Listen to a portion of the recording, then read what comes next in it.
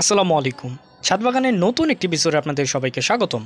আজকে আপনাদের সাথে আলোচনা করব গাছে ব্যবহারের জন্য অনেকেই আমরা কিন্তু ভাতের মার অথবা চাল, ধোয়া, পানি ব্যবহার করি।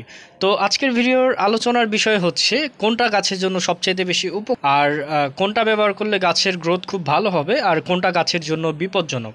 তো পুরো ভিডিওটা দেখলে ক্লিয়ার হয়ে যাবে যে আসলে কোনটা ব্যবহার করা উচিত, ভাতের মার নাকি চাল, ধোয়া, পানি। তো কথা না বলে চলুন, ভিডিও শুরু করা যাক। তো প্রথমেই জেনে নিই যে ভাতের মারে কি কি পুষ্টি উপাদান রয়েছে বা গাছের খাদ্য রয়েছে। ভাতের মারে কিন্তু আয়রন, ম্যাগনেসিয়াম, ফসফেট, পটাশিয়াম সহ আরও মাইক্রোনিউট্রিয়েন্টস এবং ম্যাক্রোনিউট্রিয়েন্টস, এগুলো সবগুলোই কিন্তু মোটামুটি বিদ্যমান। আর ভাতের মারের ভিতর কিন্তু এই সবগুলো উপাদানই পাওয়া যায়, যার ফলে কিন্তু এটা ব্যবহার করা গাছের জন্য খুবই উপকারী। কিন্তু আপনি যদি না জেনে গাছে ব্যবহার করেন, কীভাবে ব্যবহার করতে হবে, এটা যদি না জানেন, সেই ক্ষেত্রে কিন্তু গাছের ক্ষতি হতে পারে। যেহেতু ভাতের মার প্রচণ্ড পরিমাণের ঘন, এর জন্য এই ভাতের মারের সাথে অবশ্যই কিন্তু দশ গুণ পানি মিক্স করে তারপর গাছে ব্যবহার করতে হবে। আমি আবারও বলছি যে, এক, যদি মনে করেন যে একশো গ্রাম আপনারা ভাতের মার নেন, সেক্ষেত্রে অবশ্যই আরও দশ গুণ পানি অ্যাড করে টোটাল এক কেজি বানিয়ে দেন হচ্ছে গাছে এটা ব্যবহার করবেন গাছের গোড়ায়। আর আরও একটা জিনিস অবশ্যই খেয়াল রাখবেন, পুরনো ভাতের মার কখনোই ব্যবহার করবেন না, তাহলে কিন্তু গাছে ফাঙ্গাস লেগে যাবে। এবার আলোচনা করি চাল ধোয়া পানির ব্যাপারে। চাল ধোয়া পানিতে কিন্তু ভাতের মারের মতো এত ঘন দেখা যায় না, এটা কিন্তু খুবই পাতলা যেহেতু একটা পানি। জাস্ট হচ্ছে চালগুলো ধুয়ে যেই পানিটা আমরা সংগ্রহ করি, সেটাই কিন্তু চাল ধোয়া পানি। এটার সাথে আপনারা তিন গুণ পানি ব্যবহার করে দেন হচ্ছে গাছে ব্যবহার করবেন।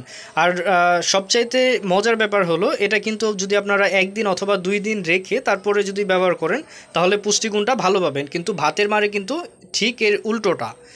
আর এখন যদি বলি যে ভাতের মারে বেশি পুষ্টি উপাদান থাকে, নাকি চালের চাল ধোয়া পানিতে। সেই ক্ষেত্রে বলব যে ভাতের মারে অবশ্যই পুষ্টি উপাদান বেশি থাকে। আবার এটা ক্ষতিকরও বেশি। কারণ ভাতের মার যেহেতু অনেকটা সময় ধরে এটা চুলায় হতে থাকে, জাল হওয়ার পরে কিন্তু এটা ঘন হয়ে যায়। এর জন্য এটাতে পুষ্টি উপাদানটা কিন্তু বেশি থাকে। যাই হোক, এর ভিতর আমার ভাতিজা চলে এসেছে, আমার ফিউচার গার্ডেনার ও আসলে গুড় গুড় করে আমি যখন ভিডিও তৈরি করি। তো যেটা বলতেছিলাম এর ভিতরে হয়তো আপনারা অ্যান্সার পেয়ে গেছেন যে কোনটা সবচেয়ে বেশি গাছে ব্যবহার করা উত্তম আর কোনটা ব্যবহার করা অনুচিত। তো আমি আপনাদেরকে সাজেস্ট করব, যদি আপনারা নতুন বাগানি হন, সেই ক্ষেত্রে চাল ধোয়া পানিটাই ব্যবহার করবেন, যদিও এটাতে পুষ্টি উপাদান কিছুটা কম থাকে বাট গাছের তেমন একটা ক্ষতি হবে না। যদি তিন গুণ পরিমাণে পানি মিক্স করে সেটা ব্যবহার করেন। আর যদি আপনারা ভাতের মার ব্যবহার করতে চান, সেক্ষেত্রে দশ গুণ পানি ব্যবহার করবেন আর পুরনো ভাতের মার কখনোই কিন্তু ব্যবহার করবেন না। তো ধন্যবাদ সবাইকে ভিডিওটা দেখার জন্য। দেখা হচ্ছে পরবর্তী কোনো ভিডিওতে নতুন কোনো বিষয় নিয়ে। সে পর্যন্ত ভালো থাকবেন। আর আমার চ্যানেলে নতুন হলে অবশ্যই চ্যানেলটাতে সাবস্ক্রাইব করে রাখবেন। ধন্যবাদ সবাইকে। আল্লাহ হাফিজ। আসসালামু আলাইকুম।